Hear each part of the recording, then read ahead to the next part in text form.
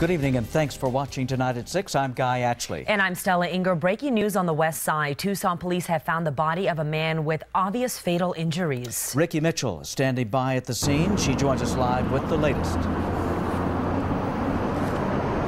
Guy Stella Tucson police still on the scene here. They're actually staged in this parking lot of a call center that is just north of Miracle Mile. Now, what they can tell us about what happened about 2:45 today, they responded here because a suspicious person was throwing rocks and maybe trying to break into a business here along Miracle Mile. They arrived and found a man matching that description, and he was acting aggressive towards officers, so they detained him.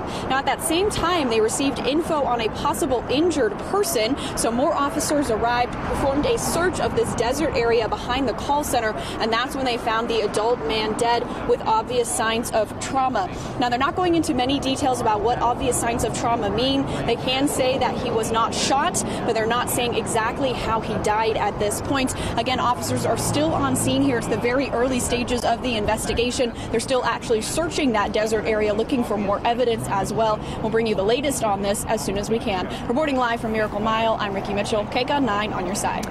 All right, Ricky, thank you very much. Well, tonight, police are looking for a man who stole several purses from TJ Maxx on Oracle. Tucson police say this is video of him walking into the store. They say he took his time, picked out the ones he wanted, and walked out without paying.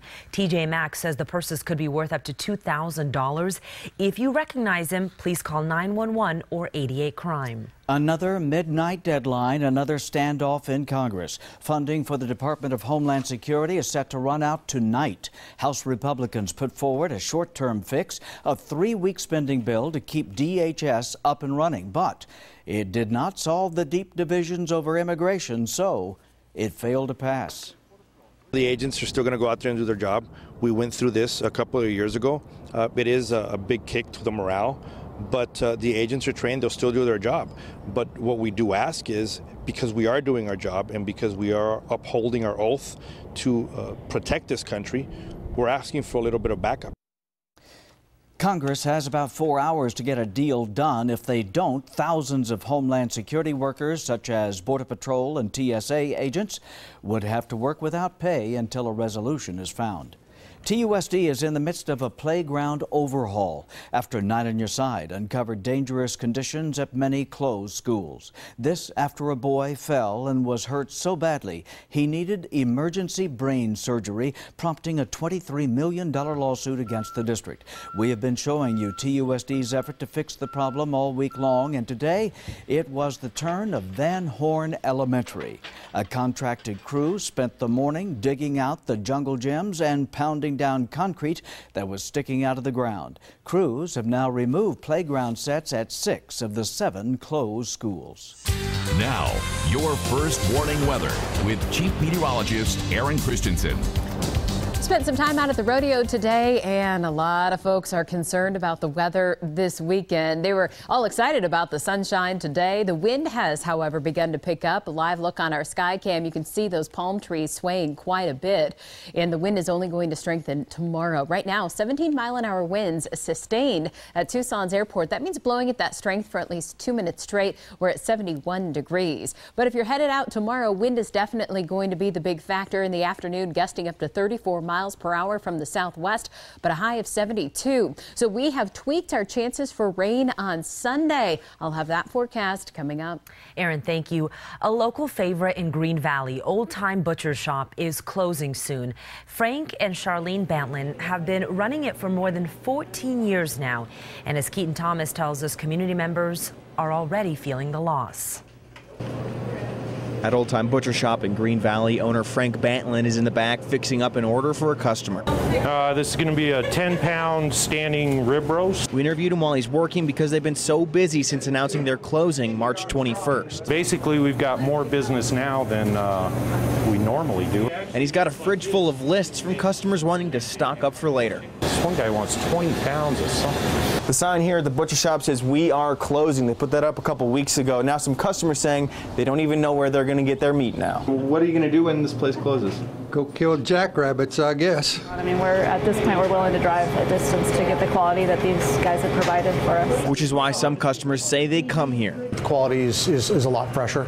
But the shop here is closing for a few reasons. Charlene Bantlin, also an owner, says one is they're raising their great grandchildren after adopting them while they were little. Matthew was here when he was, by the time he was seven weeks old, every day in a meat box for his nap. But now that they're older, it's harder to dedicate time to them. The other reason, though, is common in southern Arizona. Most customers are gone for half the year.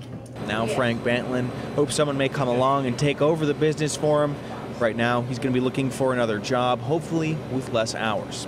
Keaton Thomas, KGUN 9 on your side. Keaton, thank you. Well, you'll probably see them high in the sky over Tucson this weekend. Planes that are ghosts of the past flying with some of the newest fighters in the air. And tonight we give you a closer look. Here's Craig Smith reporting from Davis-Monthan. Over here, the modern Air Force, supersonic and packed with technology. Over here is the World War II heritage they came from. And at Davis-Monthan, the two will practice flying together. They are planes from history so distant, you may have seen them only in a world of black and white. But these planes are living history, ready to show how far the Air Force has come.